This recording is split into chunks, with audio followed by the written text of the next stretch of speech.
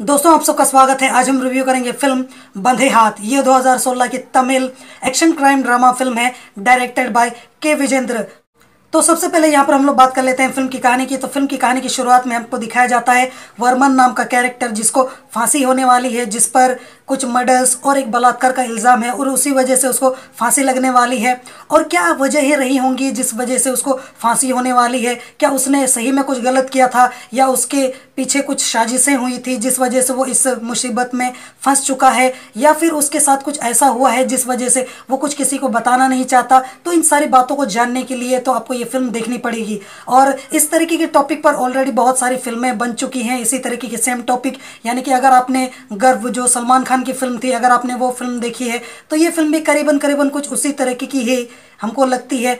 तो करीब करीब वैसे ही फ़िल्म है, लेकिन मैं ऐसा बिल्कुल भी नहीं कहूँगा कि एग्जैक्ट सेम मूवी ही है, बिल्कुल भी नहीं। यहाँ पर आपको थोड़ी सी कुछ अलग चीज़ें देखने को मिल जाती हैं इस फ़िल्म में, जिसकी वजह से इस फ़िल्म को देखने का थोड़ा सा मज़ा आ जाता है।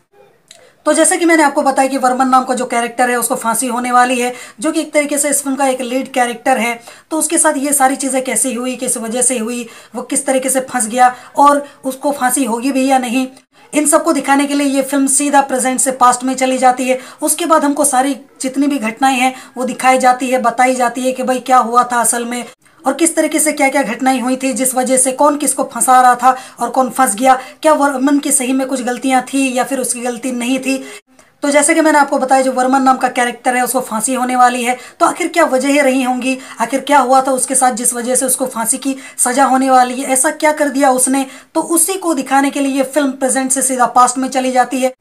उसके बाद हमको धीरे धीरे धीरे धीरे सारी चीज़ें बताई जाती हैं, सारी चीज़ें दिखाई जाती है कि भाई आखिर क्या हुआ था, ऐसी क्या क्या वजह रही थी, जिस वजह से उसको ऐसे कदम उठाने पड़े या फिर सही में उसने किया भी था या नहीं था, या फिर उसको फंसाया गया, या फिर कोई और षड्यंत्र रच रहा था, ये फंस गया, या फिर इसने खुद ही ये सब काम किया था।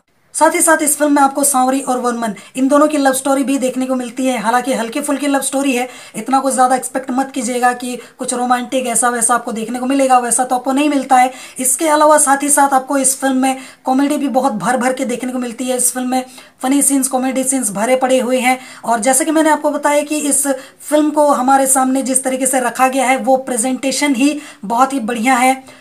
प्रेजेंटेशन स्क्रीन प्ले इसी की वजह से ये फ़िल्म बहुत अच्छी लगती है, वरना फ़िल्म की कहानी उतनी कुछ खास लगती नहीं है देखने के समय। और जिस तरीके से हमारे सामने सारी चीज़ों को छुपाया गया है और धीरे धीरे करके एक एक चीज़ को हमारे सामने रिवील किया गया है, यानी कि छोटी छोटी बारीकियों पर भी इस फ़िल्म में बहुत अच्छी तरीके से ध्यान दिया गया है और किसी भी चीज़ को हमारे सामने सीधा, एकदम तुरंत खुली किताब की तरह रखा नहीं गया है।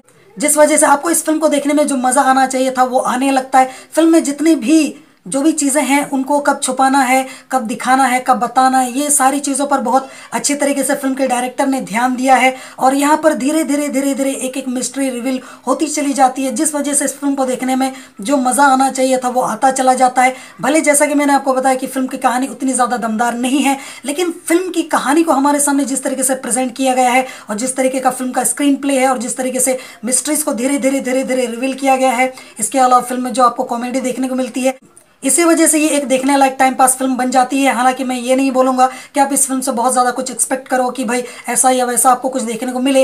एक बढ़िया सी, अच्छी खासी एक टाइम पास फ़िल्म अगर आप देखना चाहते हो और उसको इन्जॉय भी करना चाहते हो तो ये फ़िल्म आपके लिए है। ऊपर से ये एक घंटा चौंतीस मिनट की फ़िल्म है लगभग लगभग। तो ऐसे में आप एक घंटा चौंतीस मिनट या एक घंटा पैंतीस मिनट निकाल कर अगर आप निकाल सकते हो तो इस फ़िल्म को डेफिनेटली आप देख ही सकते हो। तो दोस्तों, जहाँ तक बात रही इस फ़िल्म को रेटिंग देने की तो मैं इस फ़िल्म को रेटिंग दूँगा।